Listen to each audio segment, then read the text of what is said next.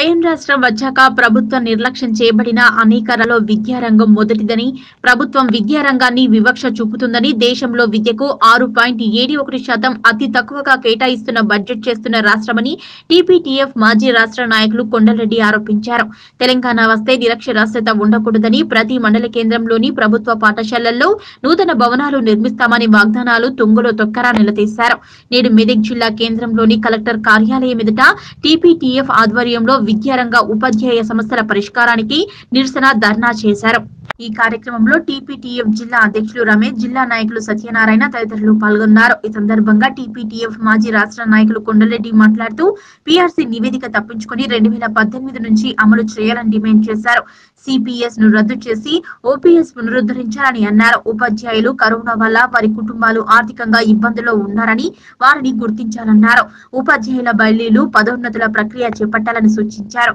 మూడు విడతలుగా ఉన్న కరువు భత్యాన్ని వెంటనే చెల్లించాలన్నారు. Corona unlock five point O మార్గదర్శకాలను అన్ని పాఠశాల యాజమాన్యాలకు ఒకే విధంగా ఉండేలా చర్యలు తీసుకోవాలన్నారు. విద్యారంగానికి సంబంధించిన అన్ని రకాల చెల్లింపులు ఎలాంటి జాప్యం లేకుండా వెంటనే చెల్లించాలని ఆయన డిమాండ్ చేశారు. రాష్ట్ర వ్యాప్తంగా ఉపాధ్యాయుల సమస్యల పరిష్కారం కోసమని తెలంగాణ ప్రోగ్రెసివ్ టీచర్స్ ఫెడరేషన్ అన్ని జిల్లా కేంద్రాల వద్ద ఈ ధర్నా శిబిరాలను నిర్వహిస్తుంది. ఇందులో పేర్కొన్నటువంటి సమస్యలన్నీ గతంలో ముఖ్యమంత్రి గారు ఇచ్చినటువంటి హామీలు మాత్రమే. ఆ హామీలను మనం నెరవేర్చమని ఇవాళ కోరుతూ ఉన్నాం.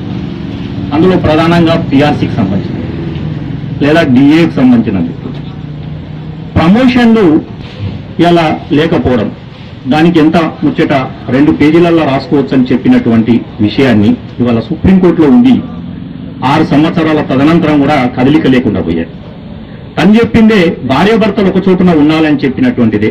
ఇవాళ భార్యాభర్తలు అంతర్ రాష్ట్రానికి సంబంధించిన వాళ్ళు ఇబ్బందులు పడుతున్నటువంటి ఉన్నాయి.